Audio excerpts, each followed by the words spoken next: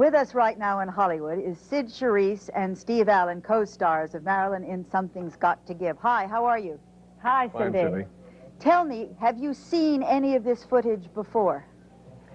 I never have. Cyd, how about No, you? No, I've never had an opportunity to see any of the scenes that I ever did in this film. Tell me. I was, Go ahead. sorry.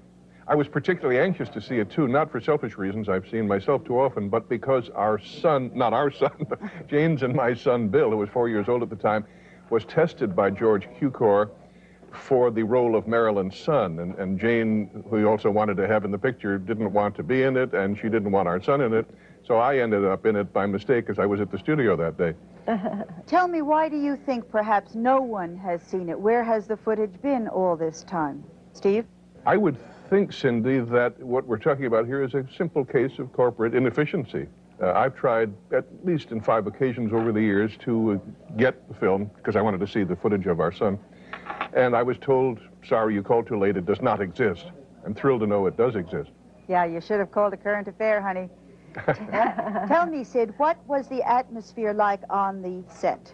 The uh, atmosphere, you would have to say, was anticipation of uh, our young star arriving on, this, on the set because we never knew when she was going to be able to shoot or not. So it was a waiting atmosphere usually, and I would get a last-minute call to please come in that uh, Marilyn hadn't come to work that day, and, and Dean and I would shoot another scene, and that was continued almost daily while I was working on the film.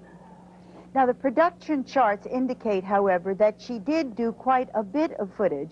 It said, we've heard that she was difficult, she had allegedly all kinds of problems, but she seems to be very alert and very alive. How do you account for that? She looked wonderful. She, I, she never looked more beautiful. Steve, what, are you, what, what about you? Well, as you know, there was always a sense when you were working in a project with Marilyn, uh, sense of apprehension. Uh, there was uncertainty. Uh, Marilyn, as I guess most people are now aware, had serious emotional problems and could not always be depended upon to at least deliver the goods at the time specified. So we were all very fond of her, and uh, she was an incredible human being, but that was par for the course when you uh, worked in a project with her, and it proved to be tragically so, of course, in this instance.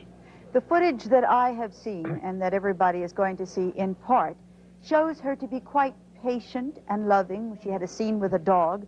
She had a scene with a child. I think maybe it might have been your son. And uh, she was very patient. She was a doll. Uh, she, She had a, a winning, sweet quality. It, it's hard to call that talent. Whatever it was, there's not enough of it in the world. Everybody naturally loved Marilyn Monroe. America loved Marilyn Monroe. She had that, that winsome, sweet, innocent, naive quality. But, uh, And so talented. yeah, So well, the, the, the re- reality was uh, different. There's one bit of the footage I've seen where I, I think it's just a still for purposes of checking the makeup or the lighting. And if you look at that moment, I at least see terrible sadness in those eyes. Usually Yeah. she had a smile that lit up the world, Yeah. but in this case her face is blank and it looks as, as if tears are about to flow.